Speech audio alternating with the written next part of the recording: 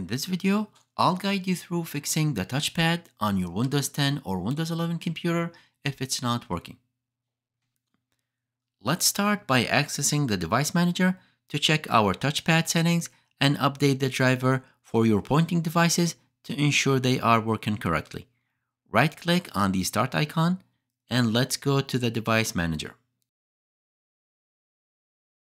In the device manager, look for mice and other pointing devices and expand it. Right click on each item under the section and select update driver and then click on search automatically for drivers and make sure to do this for each item in this list.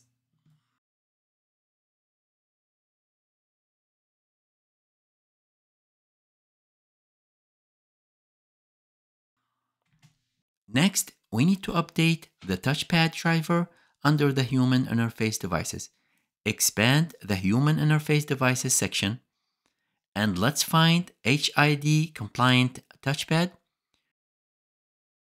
Right click on it and select update driver and click on search automatically for drivers. If this doesn't work, right click on it again and select update driver and this time choose browse my computer for drivers. Then select let me pick from a list of available drivers and choose the HID compliant touchpad driver from this list. If it doesn't work, come back again and select another one and click on next.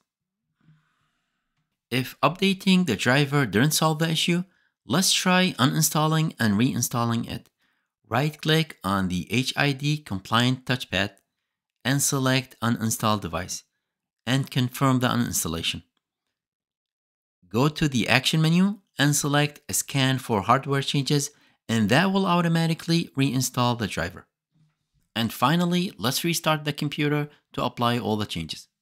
If this has fixed your issue, please let me know in the comments and consider liking and subscribing for more content like this. Thank you for watching.